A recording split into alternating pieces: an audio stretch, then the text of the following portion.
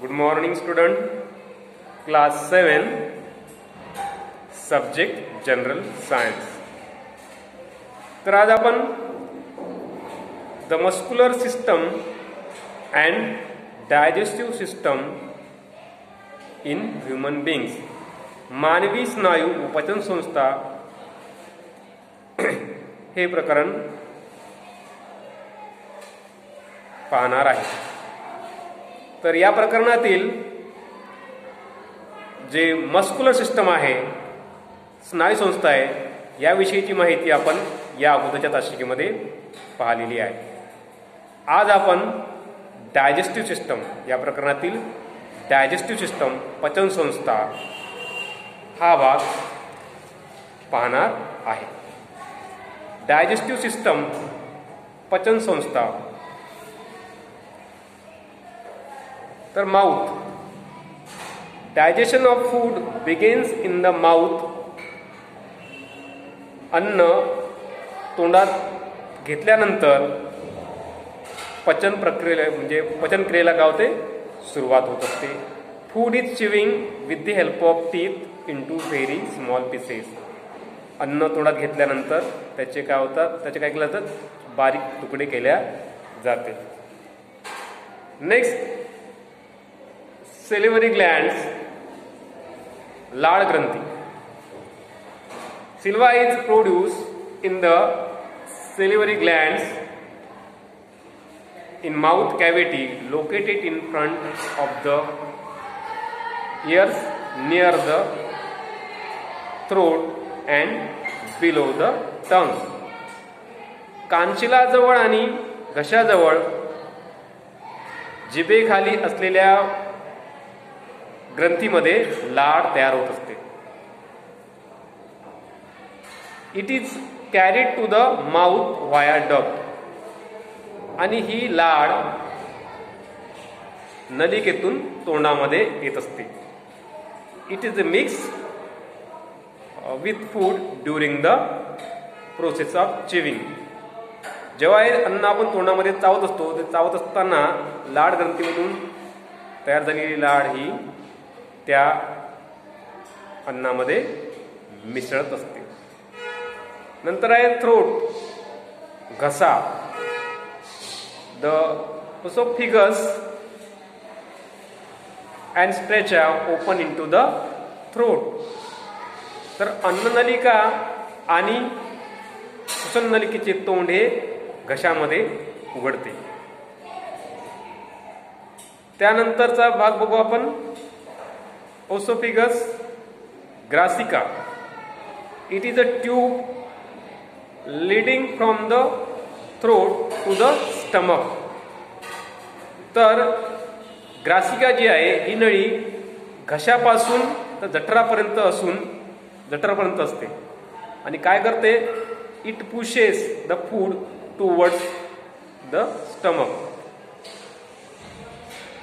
जे अन्न आहे ते ग्रासिकेमधून पुढे जठरापर्यंत काय केलं तर ढकलण्याचे कार्य ग्रासिकेमध्ये होत असते. नेक्स्ट आहे लिव्हर यकृत. The liver is the largest gland in the body तर यकृती शरीरातील सर्वात मोठी ग्रंथी आहे. It has a rich supply of blood या ग्रंथीला भरपूर प्रमाणामध्ये रक्तपुरवठा होतो. Its a main function is storage of glucose याचं महत्वाचं कार्य म्हणजे ग्लुकोजची साठवणूक करणे. ग्लुकोजचा साठा करणे. The gall bladder is situated below the liver यकृताच्या खालच्या भागाला काय असते? गॅल ब्लॉडर ज्याला मराठीत पित्ताशय असे म्हणतात. It store the bile the digestive juices secrete secreted by the liver तर जे पित्ताशय आहे ते पित्ताशय काय करत असते? त्या पित्ताशयामध्ये पित्तरस काय केला जातो साठविला जातो. When bile is carried into the small intestine it mix with the food there and help in the digestion of fats bile contains bile salt तर हा जो पित्तरस आहे तो नंतर कुठे येतो लहान आतडे लहान आतड्यामध्ये येऊन जे अन्न आहे त्या अन्नामध्ये मिक्स होतो. हा जो पित्तरस आहे या पित्तरसामुळे काय होते? तर अन्नामध्ये जे फॅट्स आहे स्निग्ध पदार्थ आहे याचं पचन होण्यास मदत होते. त्यानंतर stomach जठर. The large sac like part of the alimentary canal is called the stomach तर अन्ननलिकेचा मोठ्या पिशवीसारखा भागाला जठर असे म्हणतात. The gastric gland of stomach secrete the gastric juice तर जठर त्या जठरामधल्या ज्या ग्रंथी आहेत या जठर ग्रंथीमधून काय स्त्रवतो? तर जठर रस काय होत असतो? स्त्रवत असतो.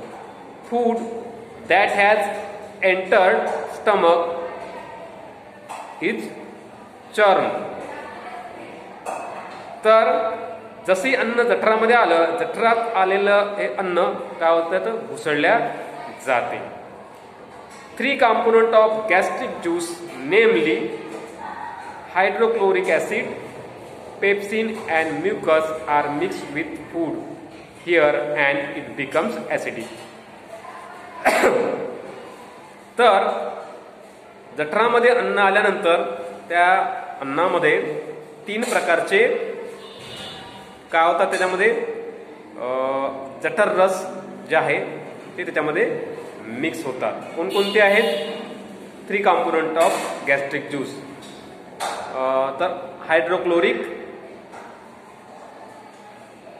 hydrochloric acid pepsin and mucus हे तीनही जठर रस त्या अन्नामध्ये गावतात मिक्स होतात आणि जे अन्न आहे ते कसं होतं? आम्लधर्मी होतं. ॲसिडिक होतं. Mainly proteins are digested in the stomach या जठरामध्ये प्रथिन आहे या प्रथिनाचे काय होतं? विघटन होत असते. Due to the churning and the action of gastric juice food becomes a semi-solid slurry which is slowly pushes into the small intestine.